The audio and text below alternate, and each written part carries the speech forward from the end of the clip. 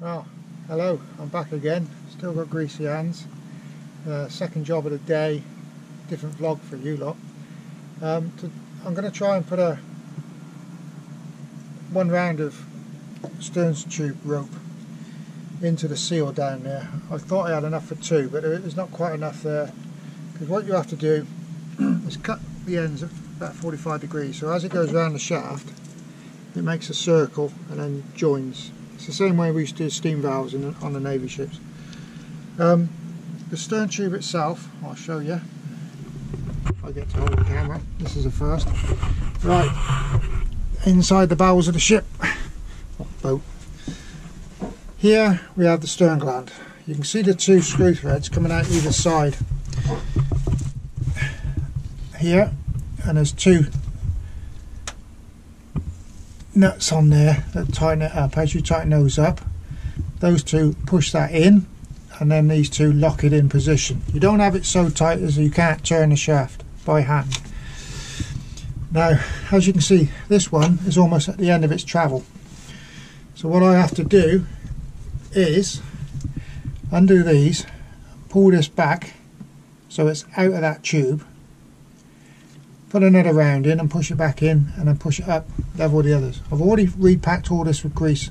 And as you can see she's not dripping with water at the moment. No drips coming out. So I'm hoping and uh, it could go terribly wrong or quite easy. The boat's still in the water so this is a dodgy operation anyway. Uh, I wouldn't advise anybody to do it but there again I've been doing these kind of things for many years. So um, hopefully it's going to go all right. As I say, I'm going to draw, withdraw that, put a new round in, which goes around the shaft like that and locks in. As you can see that locks in position, and that will end up inside the stern tube.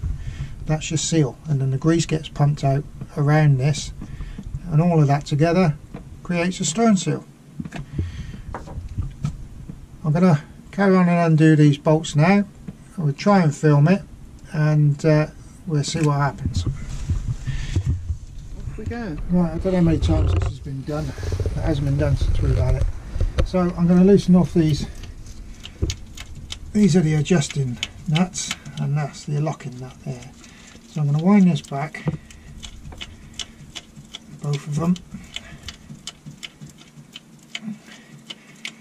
because I don't know how long that tube that's inside there, the flange that goes inside to push them up, I've got no idea how long that is. It could come back to here before it comes out. So it's going to be a slow operation. You can see the grease squeezing out where I've topped it up with grease from where I redid the uh, stern tube greaser earlier on.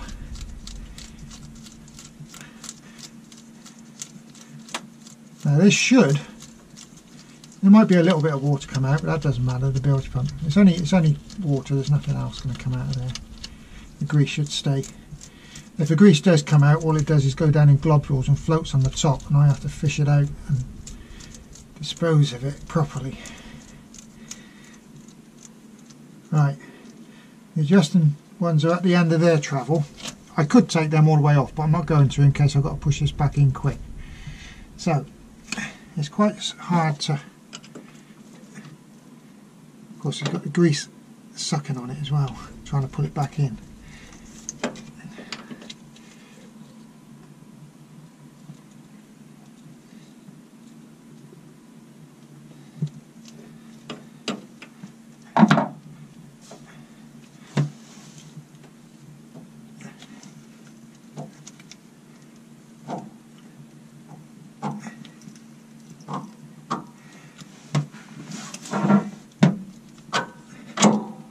Right, there's the end of it. You can see down there, we've got no water coming out. So what I'm going to do is I'm going to take the locking nut off of each one.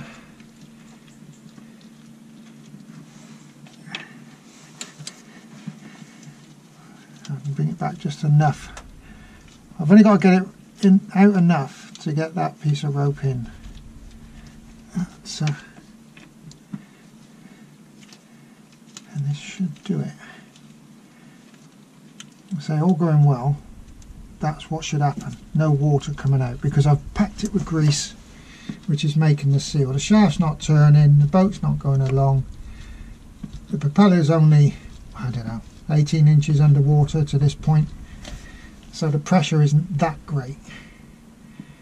That's the propeller shaft that goes out through another one, something like this, on the outside. And that's bolted through by the, uh, by the behind the propeller. I'm going to take this off because it's not leaking.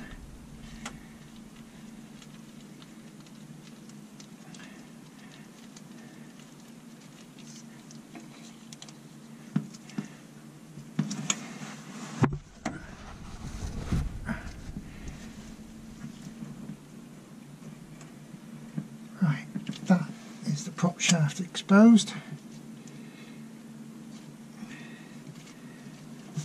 Thread this round. when you these, each round you put in, you put in at about 90 degrees difference where the join is. Because, where's my screwdriver? Then the joints are staggered, so the next one will come down here, or even halfway round, and then the next one in a different place, as long as each one's in a different place.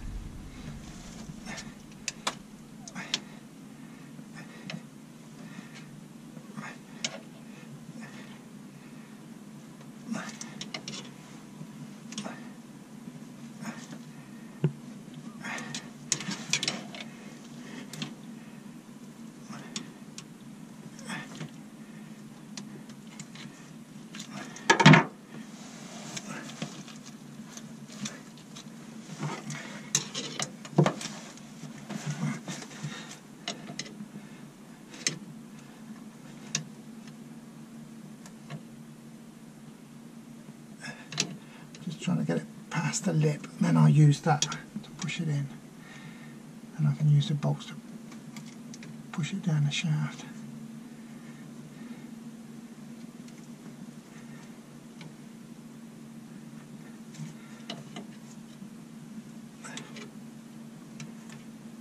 Try and keeping it straight as I can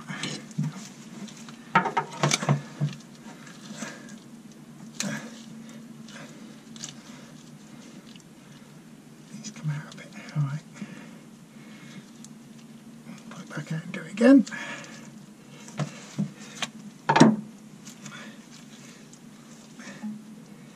As you can see, we'll cut this so you won't see all this.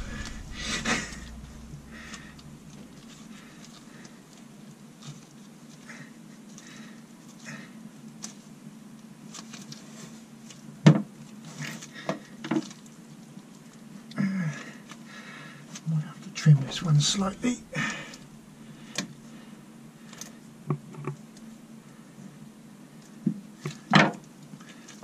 So this is how we used to do the steam valves on the warships years ago. Not enough to trim that a bit. Okay.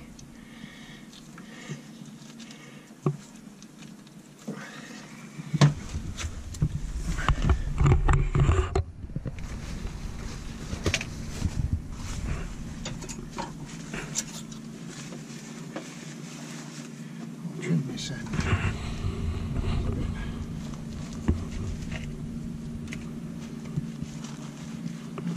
again.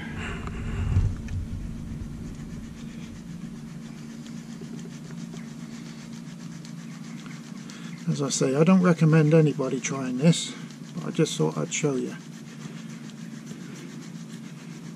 It's um, it's a thing your marine engineer would normally do for you if you call one out. It seems I did that for many years.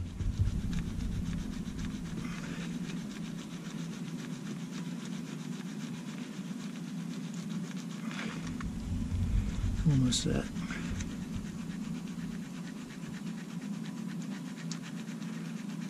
bit harder when it's covered in grease.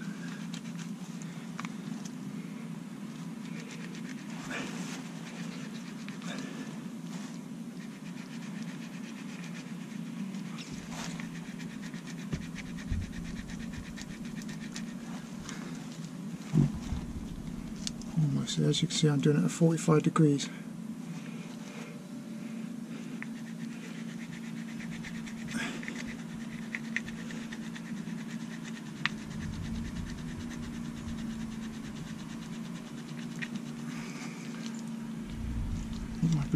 Slightly blunt. Cut the other side alright.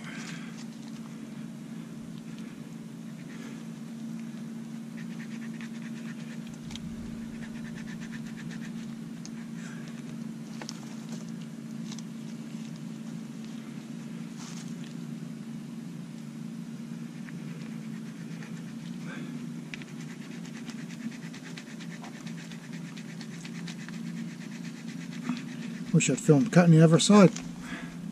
It'd come off a lot easier. Get another blade out.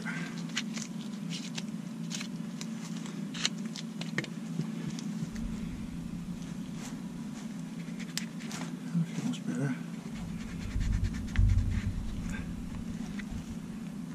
Trim off one of them loose bits.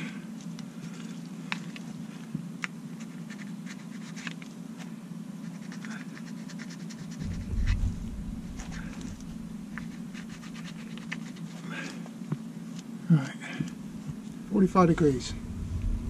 Those two go around. You're starting to get covered in grease now, and they slide together like that, and it makes a circle.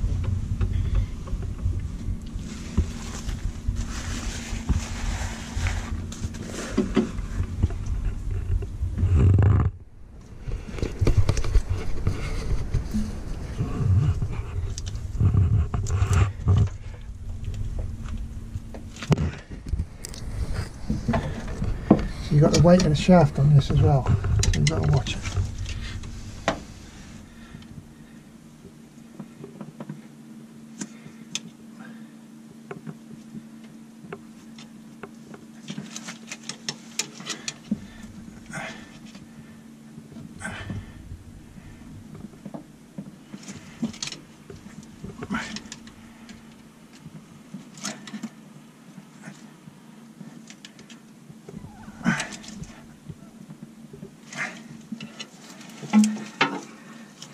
I have to get a short screwdriver well.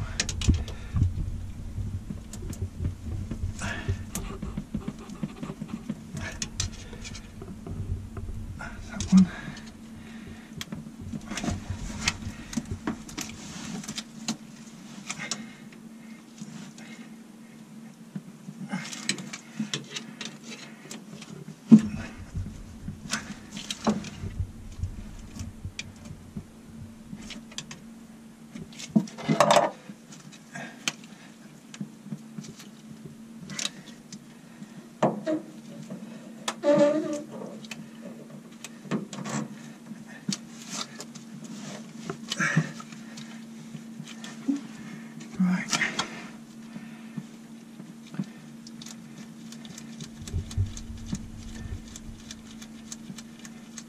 So what I'm going to do now is do these up, forcing that round of seal.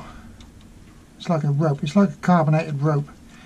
But obviously that gets covered in grease. Exactly the same stuff as we used to use on a steam valve. Unfortunately there was only enough for one round, but it shows you how to do it.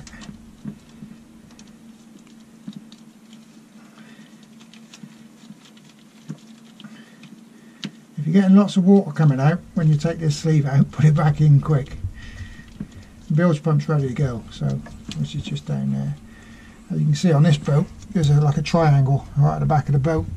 The water doesn't come over the top, well, I don't allow it to, there is a, a puppy pad down there because in that section of the boat, that is the bottom of the boat there.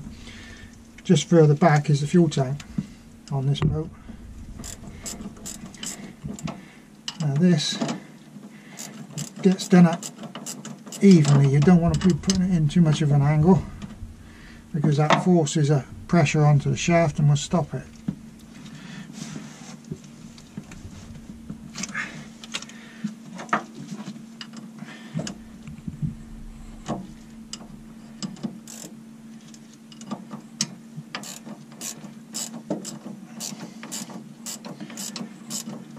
This will last me until I get hold of some more seal, seal rope seal.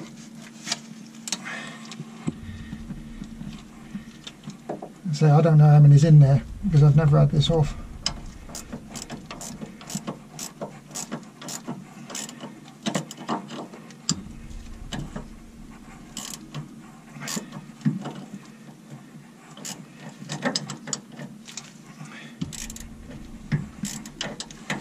She should go back pretty straight on her own. There is a slight angle to that, which is what I want to get rid of.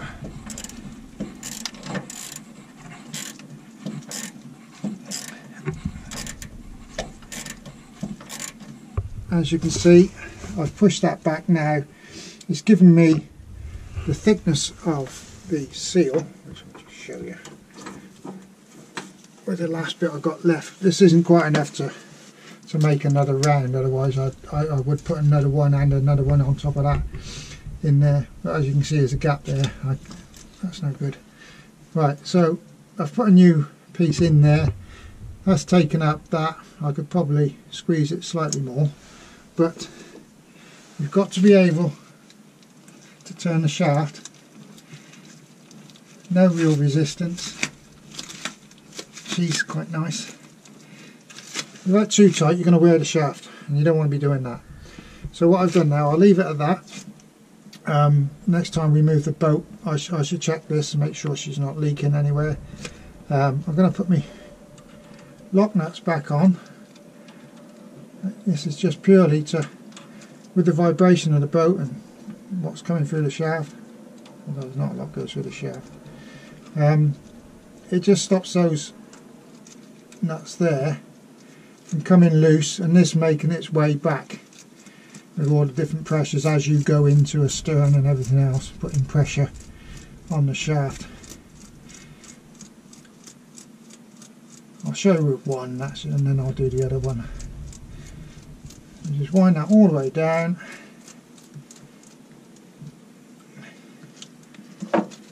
And lock that one. Against bet I got the wrong side there. Oh no, a 50-50 chance. Right, just lock that one up against that one. And then I'll do the other one. And then that should be done. Just still, I'll, I'll check that again that I can turn it.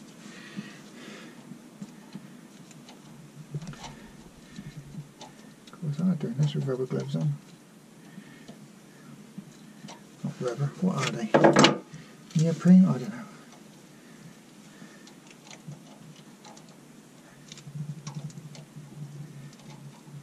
fiddliest bit.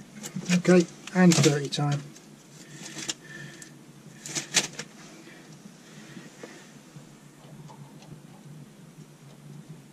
There you go, straight away.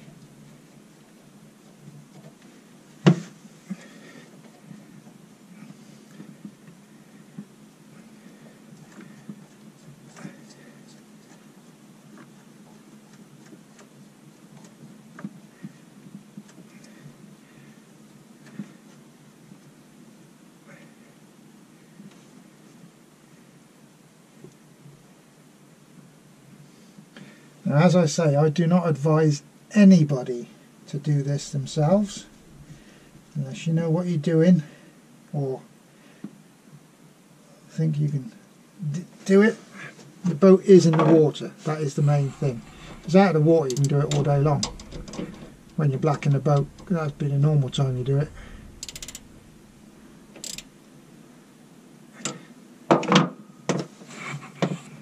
Shaft still turns. Job's done. That's how you repack a stern gland. Well, that's how I repack them. I suppose there's different ways of doing it. People got different techniques. I say most of the time it's done outside with the boat out of the water. I need to get some in there for this winter and then when we black the boat next we'll uh, we'll have all of it out and put brand new in. Alright, thanks for watching. Um, if you've got any questions, pop them down below. If you've got any other experience of doing this with a boat in the water, by all means let me know. If you think I've gone wrong, let me know. Drop it down below and we'll uh, discuss it. Uh, if you liked it, give it a like. Um, if you want to subscribe, then please click the bell as well. That'll tell you whenever we put a new one up. Thanks for watching.